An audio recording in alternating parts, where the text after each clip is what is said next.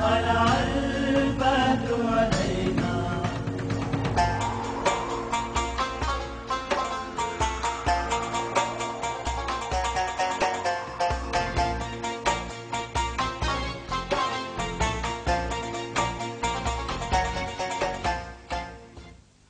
نحمده ونصلي ونسلم على رسوله الكريم. أما بعد.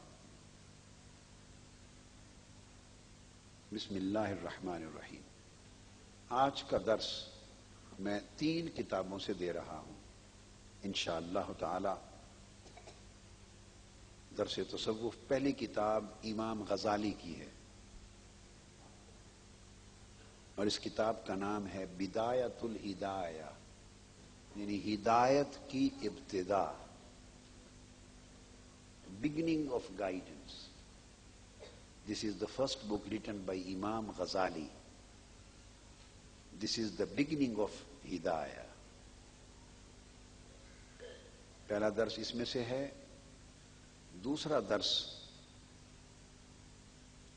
as I mentioned last night a great Sufi زاہد عابد عارف اینڈ ولی of his time Imam Harith Al-Muhasibi He was born in 165 in the midst of second century and he died in 2043 and he wrote many books on Zuhud and Tasawwuf and he is known to be one of the original authorities on tasawwuf. Imam Muhasibi. So this is his book, Risalatul Mustarshideen. This is a risala, a book for those who are the seekers of guidance. One of the basic source on tasawwuf This is the second book, which is included of Dars Tasawwuf today. And third and final one is Ghuniyatul Talibin, written by Sayyidina Ghusul Azam Sheikh Abdul Qadir al-Jilani.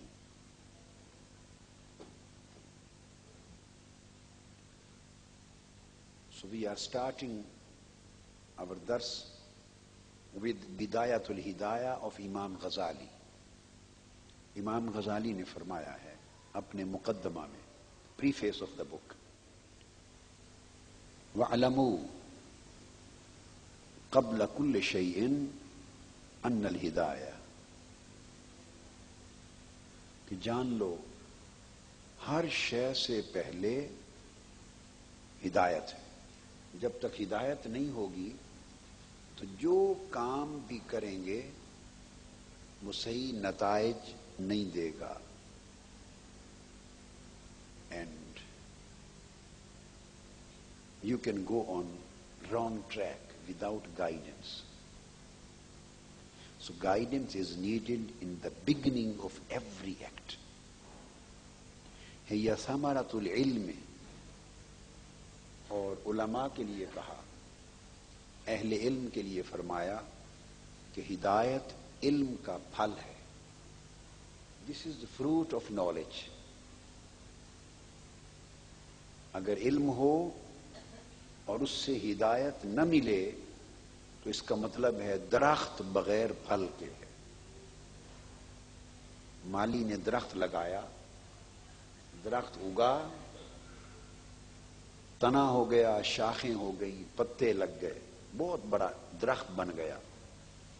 But there is no fruit on the branch it is fruitless فرماتے ہیں، جس تیرے بے سمر بغیر پھل کے درخت کا کوئی فائدہ نہیں ہے۔ اسی طرح بغیر ہدایت کے علم کا کوئی فائدہ نہیں ہے۔ پہلا نقطہ یاد رکھنا۔ Right one by one one two three four five like this پہلی بات یہ بتائی کہ بگننگ بھی ہدایت ہے اور اینڈ اور فروٹ بھی ہدایت ہے۔ آپ ایک درست کام ہدایت کے بغیر شروع نہیں کر سکتے۔ تو یہ ہدایت توفیق ہے۔ جو ہدایت کام شروع کرنے سے پہلے نصیب ہوتی ہے، وہ اللہ کی، بولیے، توفیق ہے۔ اور پھر فرمایا، ہر علم اور ہر عمل خیر، اس کا پھل اور اس کا اینڈ اگین دیٹ از ہدایا کیونکہ وہ اس کا فروٹ ہے۔ اور فرمایا، جب تک ولا ظاہر و باطن اور اس کا ایک ایکسٹرنل ایسپیکٹ ہے، اور اس کا ایک انٹرنل ایسپیکٹ ہے۔ ایک ظاہر ہے ہدایت کا، اور ایک باطن ہے۔ تو فرمایا، جب تک ابتدا کو مضبوط نہیں کر لو گے انتہا اچھی نہیں ہوگی۔ اور جب تک ظاہر اچھا نہیں ہوگا، باطن درست نہ ہوگا۔ لہذا امام غزالی فرماتے ہیں، فعلم ایوہ الطالب۔ اے طلبگار the guidance seeker you should know now جان لے، بڑی اہم بات کی۔ دقیق نقطہ بیان کیا۔ فرمایا ان نفس کل ما الى طلب العلم۔ ہی النفس الامارت بالسو یہ نقطہ نہیں معلوم لوگوں کو۔ فرماتے ہیں کہ انسان تو یہ سمجھتا ہے نا کہ علم حاصل کرنا نیکی ہے۔ لہذا جو نفس انسان کو علم حاصل کرنے کی ترغیب دے گا، وہ نیک نفس ہوگا۔ امام غزالی فرماتے ہیں، نہیں، یہ ایک دھوکہ ہے۔ This is very big misconception and a deceit by your نفس فرماتے ہیں کہ طلب علم کی ترغیب دینے والا نفس نفس امارہ ہوتا ہے۔ یہ جو برا نفس ہے، وہ بندے کو انیشلی اکساتا ہے انسٹیگیٹ کرتا ہے موٹیویٹ کرتا ہے for the sake of seeking of knowledge کیوں؟ آپ سوچیں گے کہ علم حاصل کرنا تو فرض ہے، نیکی کا عمل ہے۔ تو نفس امارہ کیوں انسٹیگیٹ کرے گا علم حاصل کرنے کے لیے؟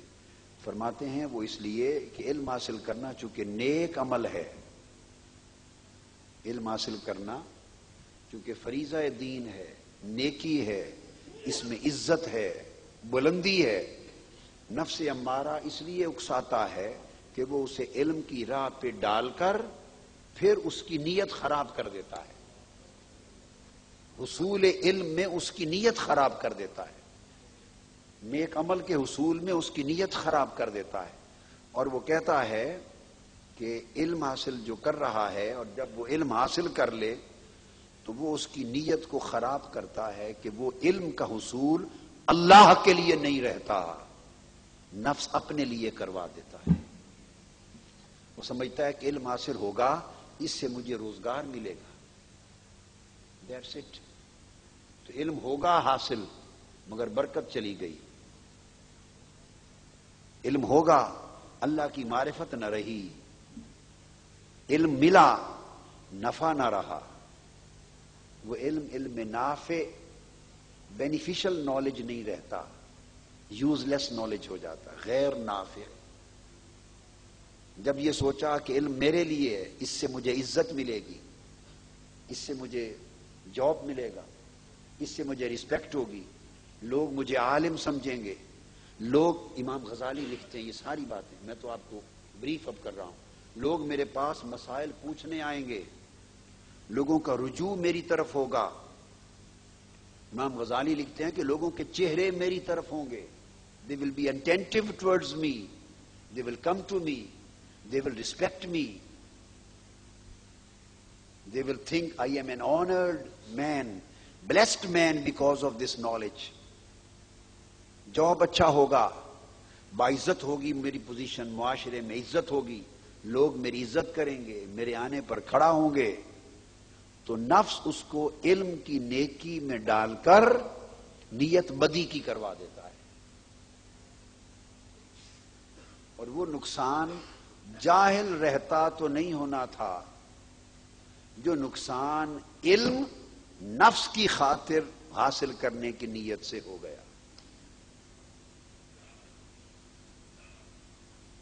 اس لیے حضور علیہ السلام نے فرمایا، حدیث ہے، اس کو امام غزالی نے بیان کیا کہ ایسا علم بندے کو